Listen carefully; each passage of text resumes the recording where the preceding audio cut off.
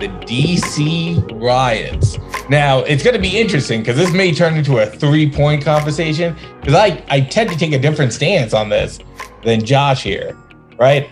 Though I'm not a very, I'm not saying violence is the answer.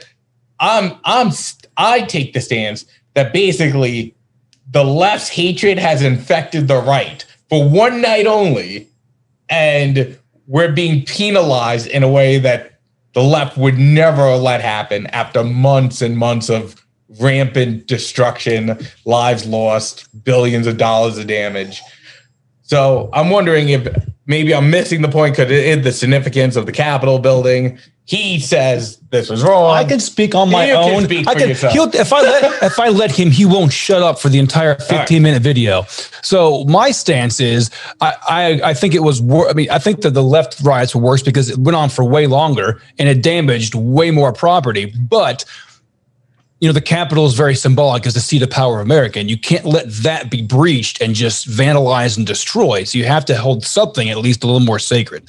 But I'm not going to hold anyone off the hook. I think it was wrong when BLM and Antifa did it. I think it's wrong when these Save America rioters or I don't know American Viking hat wearing people, whatever the hell they were doing over there. man for president. Yeah. So Yeah, I think it was wrong. completely either way. Yeah, I, I agree with you guys on that point. And you know, I know a lot of people when the first videos came out of all of this, they were saying, "Well, those actually weren't Trump supporters; those Antifa." And I'm like, "Well, there were some Trump supporters here. Like, let's let's be honest here, you know." And I'm not saying that they all were. I think there was probably a mixture of who knows what. You know what I mean? There's just so many people. Um, we also saw videos where they were kind of led into the Capitol building as well. But you know, ultimately, I agree. You know, if, if there were any Trump supporters or or anything like that that were in the Capitol building vandalizing or you know, I know a lot of people like breaching going into Nancy Pelosi's office and they're on their laptop Wow. and all this stuff. I mean, the, the point is that yeah, you think about the Chaz chop zone. You know, I mean, they the left wing crazy people took over like six blocks of Seattle for a long time. I mean, they didn't stop till people started dying in there.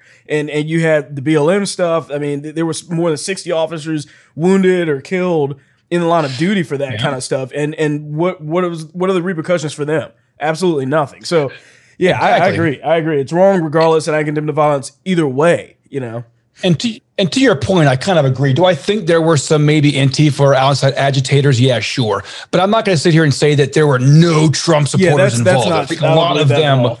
Like you can't have it both ways. I know everybody wants to, but it's like you either need to take ownership for it because like half of Republicans are saying storm the Capitol, yeah, like that's us. You know, I was there, and then the other half's like that wasn't us at all. And I'm like, come on, guys, like it's probably somewhere in the middle. You know? Bad behavior is bad behavior, but I do believe you shouldn't you shouldn't penalize the group for the actions of a few. Exactly. know. Exactly.